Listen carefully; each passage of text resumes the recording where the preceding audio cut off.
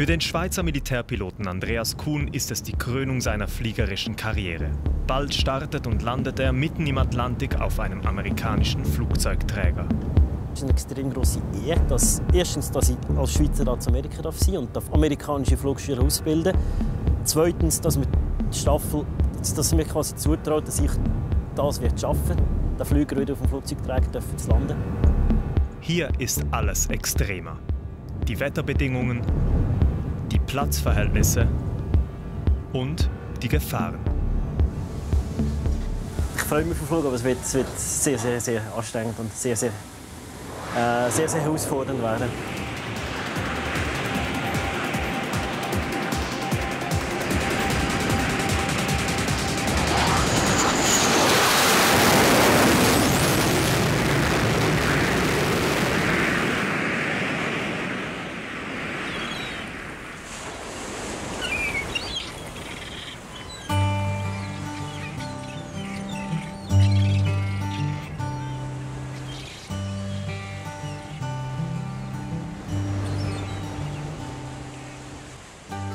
Virginia Beach an der US-Ostküste. Im Sommer ist der Strand ein beliebtes Ferienziel für Amerikaner. Die Stadt selbst könnte irgendwo in den USA liegen. Ein eigentliches Stadtzentrum gibt es nicht. Zu Fuß ist hier kaum jemand unterwegs. Virginia Beach lebt vor allem vom Militär. Der größte Teil der Bevölkerung arbeitet für die US Navy. So auch Andreas Kuhn. Vor gut zwei Jahren ist der 37-jährige Luzerner mit seiner Familie hierher gezogen. In eine Umgebung, die so ganz anders ist als die Schweiz. Ich habe das Gefühl, in einer Stadt zu leben, wo, wo, wo ich gerne habe, wo ich immer gerne hatte, das, das habe ich da nicht. Das ist auch wunderbar für dreieinhalb Jahre, das anders zu leben. Aber so ein bisschen das, das Heimelige, rein vom Lebensgefühl her, ähm, das, das ist jetzt das, was mir aktuell gerade fehlt von der Schweiz. Dafür komme man sich hier weniger in die Quere als zu Hause in der Schweiz.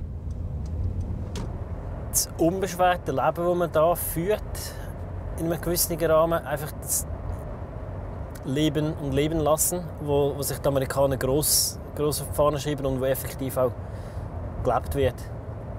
In der Nachbarschaft, eben, es stört, es stört den Nachbarn nicht, wenn am Sonntagmorgen um 10 Uhr aus der Rasen mähen. Kuhn lebt mit seiner Frau und den drei Kindern am Stadtrand, auf einem kleinen Inselstreifen, der nur durch eine Brücke mit dem Festland verbunden ist. Hier in den USA absolviert er ein Austauschprogramm zwischen der Schweizer Luftwaffe und der US Navy. Als Fluglehrer bildet er amerikanische Piloten auf dem FA-18 Kampfjet aus. Andreas Kuhn lebt seine Leidenschaft. Das Fliegen bedeute ihm alles, sagt er. Doch die Familie stehe immer zu oberst. Wo die Ausschreibung für das aktuelle Austauschprogramm, das ich jetzt teilnehme, ähm, draussen war, habe ich nicht einfach sofort gesagt, oh ja, das wollte ich unbedingt machen. Ich habe gewusst, zuerst muss meine Frau im Boot sein. Und erst wenn das, wenn ich quasi das Okay von ihr habe, hey, mal das will, und sie auch wegkommen, nicht nur sagt, dann komme ich halt mit, ist okay, ist gut für dich, sondern wenn sie sagt, nein, das wollte ich auch machen, erst nachdem habe ich gesagt, doch, ich tue mich bewerben für das Austauschprogramm. Frau und Kinder möchten lieber nicht gefilmt werden. Deshalb steht Kuhn für einmal allein im großen Garten. So wie ich ihn in seiner Freizeit erlebe, würde ich im ersten Moment gar nicht darauf kommen, dass hier ein Kampfjet-Pilot am Laubrechen ist. Kuhn ist nicht die Hollywood-Version eines Militärpiloten. Keine Lederjacke, keine Gelfrisur, kein schnittiges Auto. Und tatsächlich hatte Kuhn als junger Bub andere Pläne. Ich wollte Elektroingenieur werden. Etwa mit 7, 9, 8. Die Primarschule war mein Berufswunsch. Und es hat so ein angefangen, ich bin, glaub, sind, glaub, ich bin glaube zwölf, als wir das erste Mal mit der Familie auf Griechenland in die Ferien geflogen haben. Das war so die gute alte Zeit, wo wir noch Kinder können ins Cockpit gehen und all die Knöpfe und total fasziniert. Und dort hat es dort hat's angefangen. Der erste Schritt hat eigentlich meine Mutter gemacht, die aus der Zeitung ein Inserat für die FAWS, die Flügerische Vorschulung, der Vorgänger von Sphere, ausgeschnitten hat und mir das auf den Tisch gelegt und gesagt, du dich anmelden. Was hätte wohl der zwölfjährige Andreas damals gedacht, wenn man ihm gesagt hätte, dass er einmal auf einem Flugzeugträger landen würde? Sechs Wochen lang hat Kuhn nur noch dafür trainiert. Das Landen auf einer ultrakurzen schwimmenden Piste mitten auf dem Meer. Wenn mir Kuhn davon erzählt, klingt er fasziniert. Es sei ein Höhepunkt, sagt er. Aber auch die Anspannung merke ich ihm an. Nur noch zwei Tage bis zum Flugzeugträger und der Druck nimmt zu. In einem Beruf wie dem lernt man mit Druck umgehen. Tagtäglich. Von dem her ist, ist es von dem her keine neue Situation. Das heisst nicht, dass ich am Dienstag, wenn es losgeht, nicht, nicht trotzdem ein bisschen nervös wird sein. Das ist klar. Aber es gehört auch dazu wenn man keinen kein Respekt hat oder eben so eine gewisse, so eine gewisse Nervosität, braucht es von einem wichtigen Einsatz. Auf jeden Fall. Das ist aber auch immer ein Zeichen, dass man sich gut vorbereitet hat.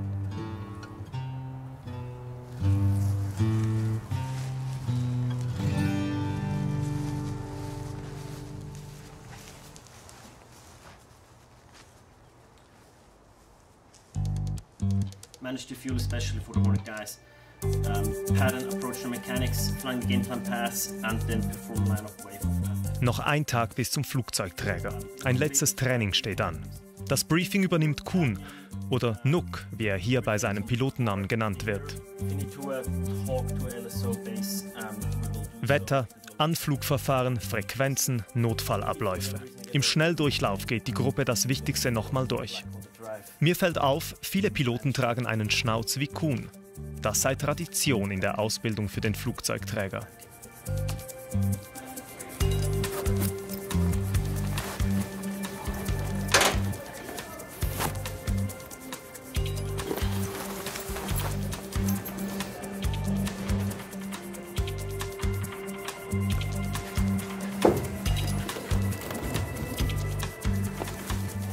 Er wird nicht jünger die Augen nicht besser. Darum fliege ich mit Brüllen. Das dürfte man. Ja, das ist ein, äh, so ein Klischee, das umgeht, dass Militärpiloten keine Brille dürfen haben Das ist nicht der Fall am Anfang der Selektion. Dort müssen die Augen noch gut sein, aber es ist ja klar, dass, dass mit, mit dem Alter bei gewissen Leuten einfach die Augen ein bisschen schlechter werden.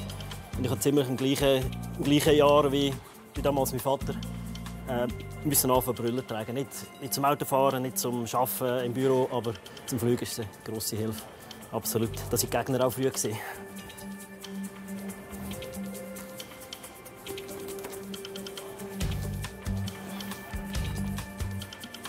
Was ist das für ein Logo auf dem Helm? Das ist ein, ein Gladiator. Wir sind dort wie Favona Six Gladiators. Äh, das ist ein Gladiator, wie ihr seht, äh, mit einem Schweizer Schild.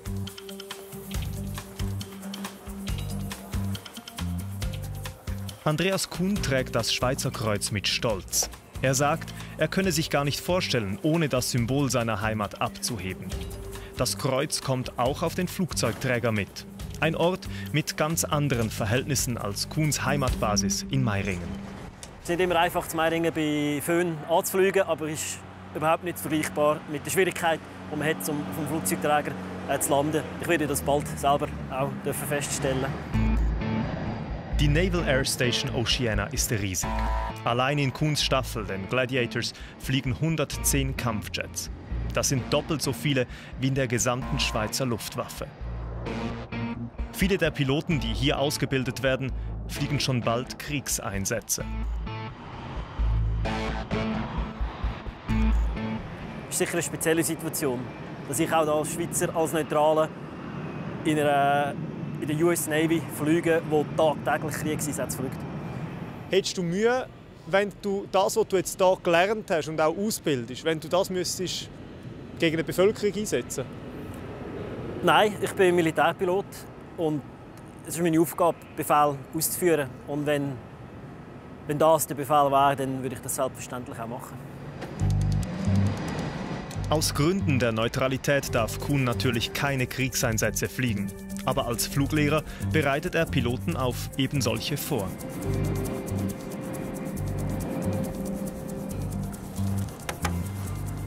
Das Austauschprogramm zwischen der Schweiz und den USA entstand vor über 20 Jahren. Als die Luftwaffe damals den FA-18 Kampfjet kaufte, ließ sie ihre Fluglehrer bei der Navy umschulen. Seither besteht die Partnerschaft. Gleichzeitig befindet sich immer auch ein US-Pilot in der Schweiz.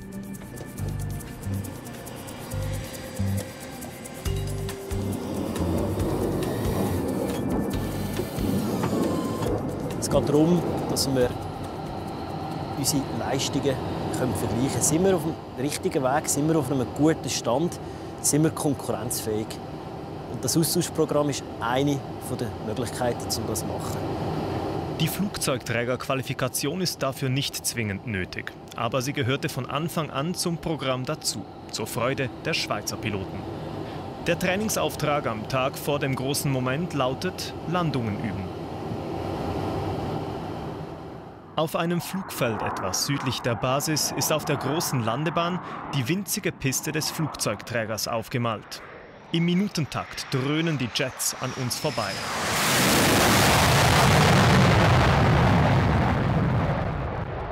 Andreas Kuhn und seine Kollegen versuchen immer wieder im richtigen Winkel den idealen Aufsetzpunkt zu finden. Auf dem Flugzeugträger wird das dann noch deutlich schwieriger. Kuhn spricht von Europapark-Feeling.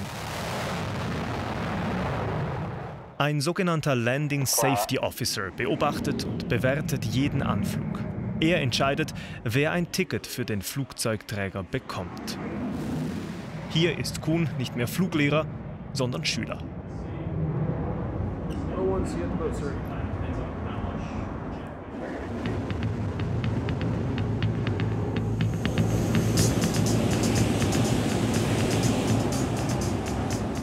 USS Dwight D. Eisenhower, ein Flugzeugträger angetrieben von zwei Atomreaktoren.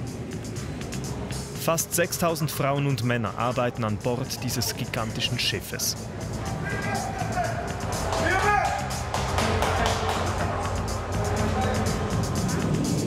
Über 80 Flugzeuge finden hier Platz.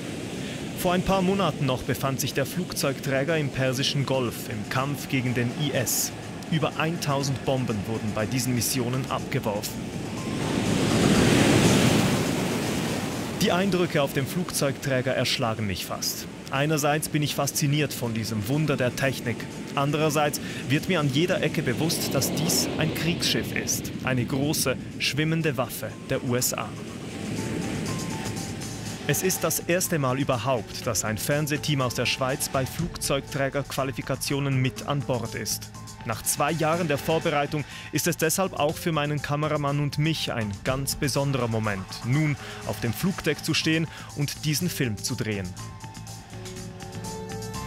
Andreas Kuhn ist einige Stockwerke unter Deck einquartiert. Sich hier zurechtzufinden braucht Übung. Die langen Gänge, die vielen Leitern, keine Fenster, das macht die Orientierung für Besucher nicht ganz einfach. Aber Kuhns Gedanken drehen sich nun um seinen Flug und dieser wird eine noch größere Herausforderung als erwartet. Bedingungen heute 40 Knoten Wind. Normalerweise haben wir 25 bis 30. Also es ist ein etwas anderes, als wir vom Training auch, auch gewöhnt sind. Wir müssen äh, allenfalls mit, äh, nur mit äh, sogenannten Half-Flaps anfliegen. Also die Landeklappe nicht ganz ausgefahren, weil es so viel Wind hat. Wir werden einen steileren Anflugswinkel haben, wir uns gewöhnt sind vom Training. Also es ist alles ein anders heute, als wir eigentlich das gedacht haben. Jetzt mal schauen, vielleicht auf den Abend nimmt der Wind noch ein bisschen ab und es wird vielleicht ein bisschen, äh, ein bisschen einfacher noch, als es gerade aktuell ist. Wenn nicht, dann machen wir das, was muss gemacht werden. Der Start vom Flugzeugträger erfolgt mit einem Katapult. Gestartet wird nämlich auf einer Strecke von nicht einmal 100 Metern. Das Bugrad des Flugzeugs rastet im Katapult ein. Der Pilot gibt vollen Schub und dann jagt das Katapult den Jet vom Schiff.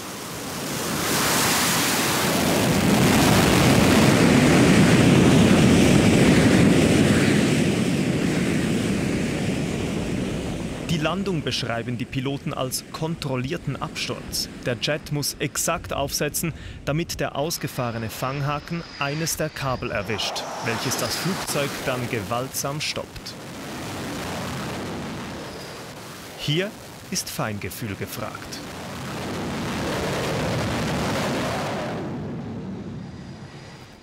Der Pilot muss gleichzeitig wieder Vollgas geben, für den Fall, dass er das Kabel bei der Landung verpasst.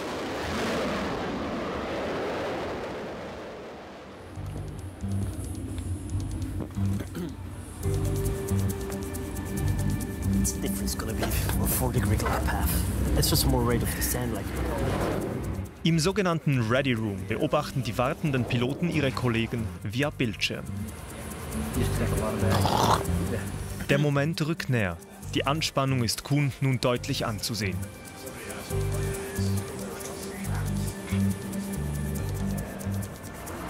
Zu oberst im Kontrollturm weiß man um diesen Stress.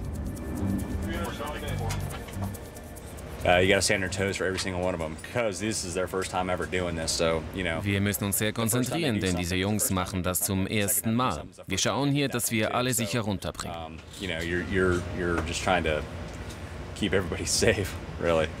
Wissen Sie, dass auch ein Schweizer uh, Pilot an Bord ist? Ja, das habe ich gehört und wie ich höre, ist die Schweizer Marinefliegerei stark am Wachsen. Nein, ernsthaft, es ist toll, dass wir eure Jungs trainieren können. Die Schweizer, aber auch die Briten, all unsere Partner. Das ist wirklich toll.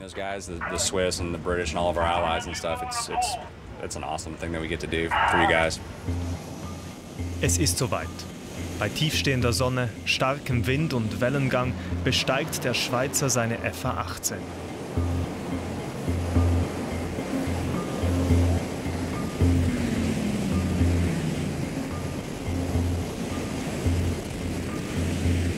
Nun bin ich selber angespannt.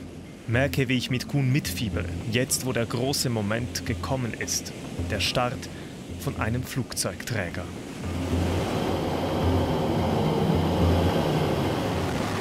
Die Navy erlaubt uns, eine kleine Kamera im Flugzeug zu platzieren.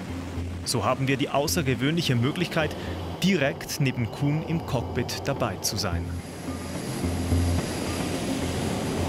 Es ist eine beeindruckende Perspektive. In unmittelbarer Nähe starten und landen Kampfflugzeuge, während Kuhn zur Startposition gelotst wird.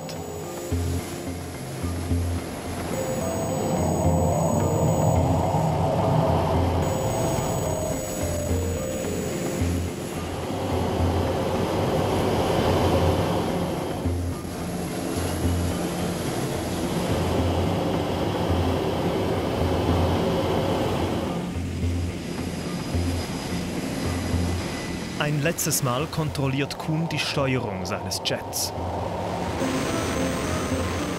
Und dann geht's los.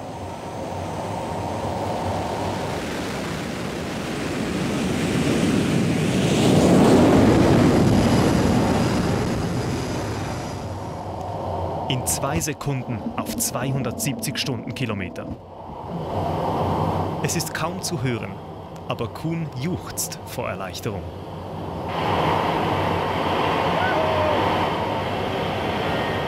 Der Start ist geschafft. Der schwierigste Teil folgt aber erst noch. Die Landung. Zuerst fliegt Kuhn ohne Fanghaken an. Wie im Training muss er beweisen, dass er den punktgenauen Anflug beherrscht. Diesmal aber auf einer Piste, die sich im Wasser auf und ab bewegt. Der erste Test gelingt. Es folgt der zweite.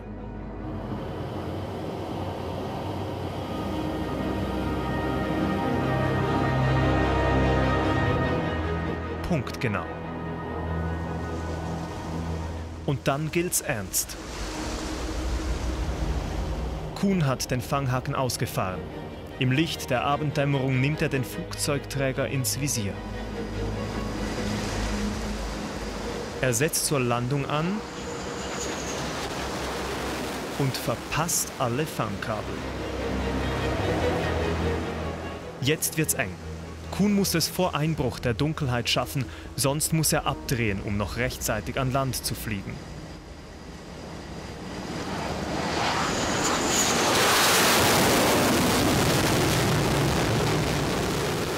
Das ist es.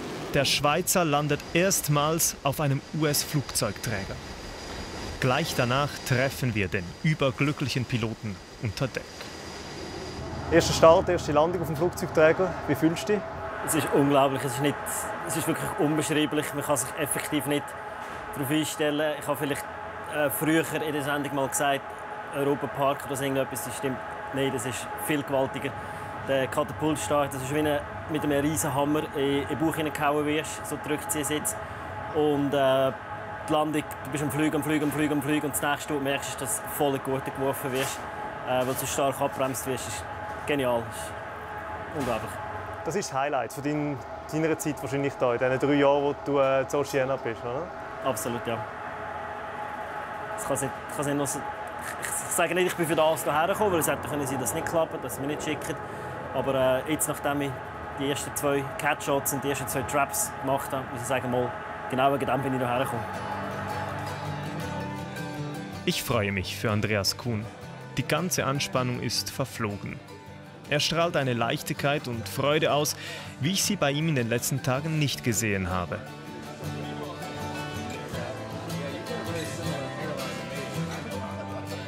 Und so verabschieden wir uns vom Schweizer auf dem Flugzeugträger.